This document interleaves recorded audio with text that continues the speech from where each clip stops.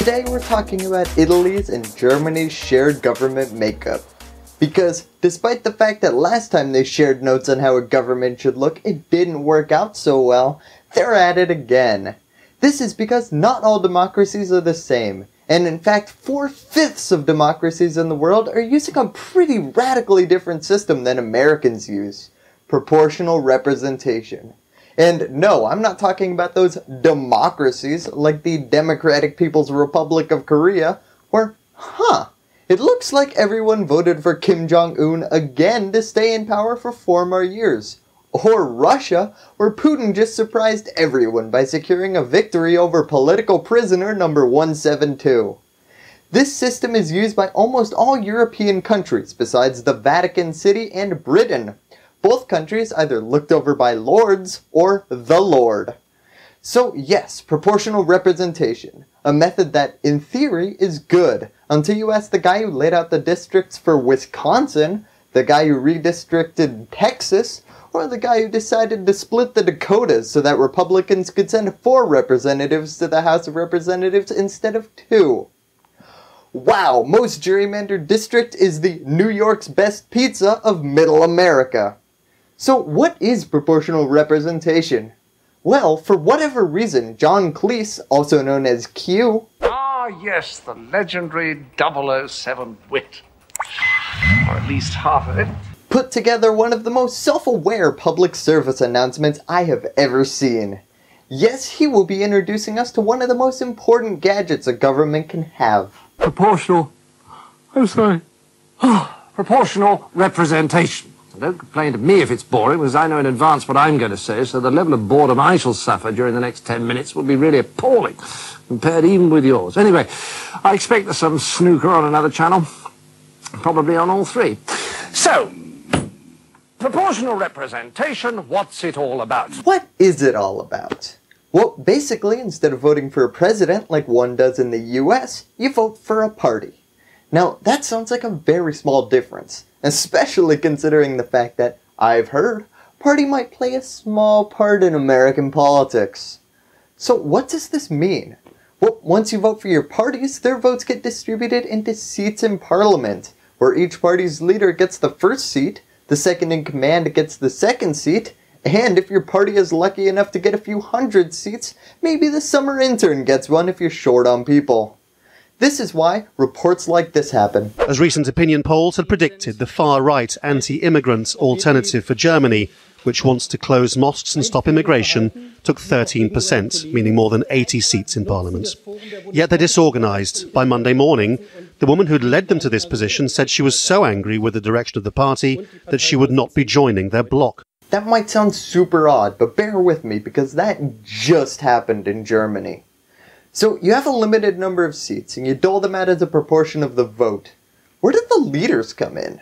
I mean, when we want to negotiate with Germany, Donald Trump doesn't go over there and sit down with all 709 members of the Bundestag. Is there a separate election to vote for your Berlusconis, your Merkels, or your Hollandes? No, usually one party gets over 50% of the vote, and the leader of that party is your leader. But there is a problem you sometimes encounter in these cases that we've recently experienced in Germany and we're currently seeing in Italy. Nobody won.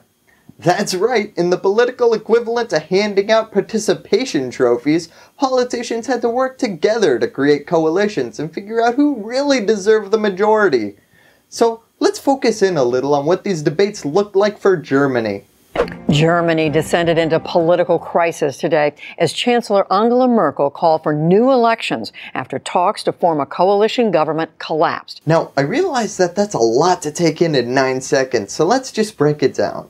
In the most recent election, nobody won. Although Angela Merkel's the Christian Democratic Union Party got 28% of the seats. Which might sound bad until you realize that that's the highest amount out of any of the parties that won. That said, 30% of the population running the country doesn't really sound democratic, unless you're living in the United States right now. So, what do you do? Well, as the leader of the biggest small fish in a big sea, you can either negotiate to form a coalition government that can have 50% of the seats, or you can float to the top and hope for re election. Unfortunately for her, if she formed a coalition with the second largest party, she would still have less than 50% of the votes. So she had to create a voting coalition of three or more parties, which would be pretty hard considering this would be like herding cats, dogs, and mice and trying to get them to all agree on the circle of life. Back to Q to talk about why this all might be a problem. Well, Some people claim peacetime coalition governments are weak and indecisive. Right, well, let's look at Europe again, shall we? Let's examine some of the countries that have been suffering from weak, indecisive coalition governments. Germany, Holland, Sweden, poor, wretched, enfeebled things. Denmark, Switzerland, they make your heart bleed, don't they? Norway, they're on the scrap heap too. If only they could all get rid of their weak, indecisive coalition governments, perhaps they could have a standard of living like ours. Thank God, Britain's got strong, decisive, one-party government, which in 1985 achieved for the first time in our history a lower standard of living than coalition-riddled old Italy. So yes, this style of proportional representation might create weaker coalitions, but it does encourage stronger third parties because if you can surpass a minimum number of seats, your party gets representation, which leads to some interesting parties getting on the ballot, like the Pirate Party Germany that got over 100,000 votes in the last election. Hey, I like their policies on redistributive taxes. So what ended up happening in Germany? Well, Merkel's party, the Christian Democratic Union, was trying to make an alliance with the Free Democratic Party and the Green Party, which would just eke her over the 50% mark. Unfortunately for her, because all of the other large parties had refused to work with her, she was having a little bit of trouble being a Christian right-wing politician connecting with the Green Party and the Free Democratic Party. And after about a week of negotiations, the leader of the Free Democratic Party said he wouldn't work with Merkel, citing irreconcilable differences on immigration and the environment. So, this put Merkel in a tricky situation.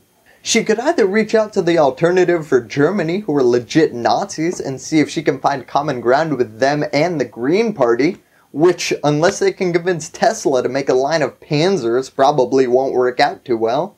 So we're just gonna put a quick X over them, because yeah, that's not happening. This means that to have control over anything, she had to grow. Unfortunately for her, this party, the Social Democratic Party of Germany, had said they wouldn't align with her after her party got destroyed in the general elections. And if she worked with the other two parties, she would still not have 50% control. So what do you do? How much closer are we to actually forming a government? The SPD has now, the Social Democrats, uh, the second biggest party in Germany, who Merkel has been wooing for a couple of weeks now, uh, have basically said, well, we are willing to discuss, among other options, an actual real coalition government, a full fledged government. Uh, with uh, Angela Merkel. My gosh, you think American governments are slow? 180 days after the election and they're still making their government. Anyways, these talks succeeded and it ended up being a coalition of the Christian Democratic Union, the Christian Social Union of Bavaria, and the Social Democratic Party. Wow, that's a lot of Christianity for a country that I generally thought to be more progressive than a hipster bar on Noam Chomsky night. Now to Italy, a country where the debates are currently happening. Ah, yes, Italy, a country that is so anti-immigrant they chose to look like a boot. What happened in the next couple of weeks, Steve, just to try and clarify that, is that these kind of informal talks begin, and by the end of March, around the 23rd, they will actually decide who's going to be Speaker, leader of both the chambers of Parliament here in Rome. At that point, Sergio Mattarella will take over and try and negotiate formally with the various parties and blocs to figure out if they can get to 50% majority that's required to govern here. Oh no, if they can't work anything out, Italy might not have a functioning federal government. Which changes what exactly? Sorry I'm being so tough on Italy, but my gosh, if it weren't for Greece, they'd be the flashing red weak spot of the EU. So first, let's talk about what the basic voting situation is in Italy. There are three main coalitions instead of two, although two of them have pretty simple names. Center right and center left. Gee, where'd you come up with those? The third party is a newer one, the Five Star Movement, Points for creativity, although center right and center left, you are not. It was only created in 2009 by a comedian and a blogger, but boy did they do a good job in that last election. Wow, no mention of Christianity in any of their names? In Italian cities, there are more paintings of Jesus than there are stop signs. Although, how did this election end up working? Silvio Berlusconi's center right bloc taking the largest number of seats in the Italian election. The anti establishment Five Star Movement seemed to have performed better than expected, pushing the center left into third place. However, no group is seen winning an overall majority. In Italy, where these debates are currently happening, let's go to the election results. So, Italy currently has two coalitions that already exist. There's the center-right and the center-left coalitions. So let's see what happened. Well, here are the results. So as you can see, things are split pretty evenly between the Five Star Movement, the center-right coalition, and the center-left coalition. But quick shout out to the other parties because while some are alarmed by the Nazi levels of immigrant fear in the Italian government, one seat was won by the South American Union Italian Immigrants Party. So, buena suerte to that individual. Anyways, this equality in votes has led to a bit of a stalemate as everyone has a pretty large bargaining power. If it took Germany half a year to make its government, we can probably predict that the Italians will have their government set up just in time for the next election. So let's go back to the results. Well, in this case, it looks like this might be the center-right's leadership to lose. Because not only are they the largest party, but the odds of the Five-Star Movement and the center-left movement agreeing on anything are infinitesimally small. Only problem... Five Star have vowed not to do a coalition deal with anyone else. In a country in which you can't do government without a coalition, it leads many to wonder if they would prefer not to be in government at all. Alright, so they're just trolls then. Well, I guess a party founded by a comedian and a blogger might have more 4chan-esque values. So what say you, left-center party? Well, no one's even writing about that, as the center-right party would much rather negotiate with the far-right party. Although, the Five Star Movement is saying it will only join a coalition if their leaders can be the leader of Italy. And good luck with that one. That would be like Facebook acquiring WhatsApp and then letting Brian Acton take over from Mark Zuckerberg. So no one knows how these negotiations are gonna go yet, but there is one more option people think might happen. If there is no majority coalition in Italy's parliament, it could be dissolved, leading to another round of elections. Thank you, and that's all I have to say about that. Hello YouTube, I hope you enjoyed this video. Subscribe by clicking on my eagle, or do it the old-fashioned way by clicking the subscribe button down below. And remember to give me a thumbs up.